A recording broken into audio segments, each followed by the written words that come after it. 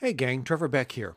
Today I want to talk to you about a function called import HTML and a command called filtered views. Now import HTML does exactly what it sounds like. It takes content from a web page somewhere else and brings it into the spreadsheet as if it was actual data. Here I'm looking at a program listing for a university and off to the right they have the status here of open and close. But you can kind of see that it's kind of hard to see where the closed ones are versus the open ones. So what I'm going to do is I'm going to take this information and I'm going to bring it into my spreadsheet. To do that, I'm going to use the import HTML function.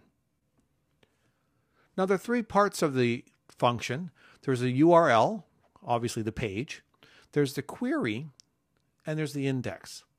Let's start off with the URL. It should be noted that you need to have the URL in quotation marks. Now the next part is the query.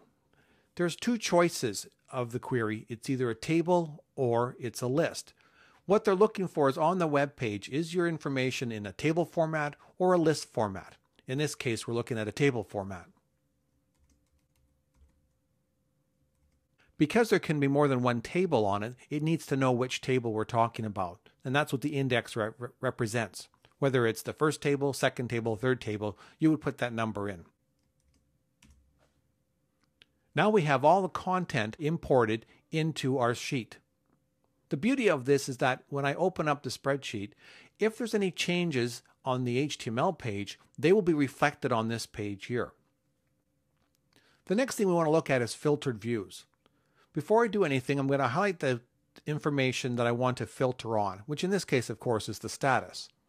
I'll go over and turn on our filter list you'll see that there's an arrow pops up to the right there of this column. Clicking on it will show you all the information contained in that column as choices. I'm going to clear them all and just select Open. Now we can see that all the files here, or all the listings here, are open listings. What I'm going to do now, because I may come back and refer to this, is I'm going to save this view.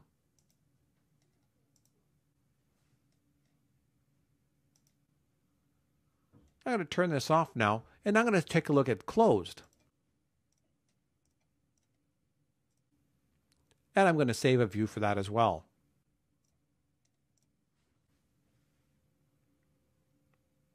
So that's it. You can see how you can bring your content in from another page using the import HTML, and then you can filter that information.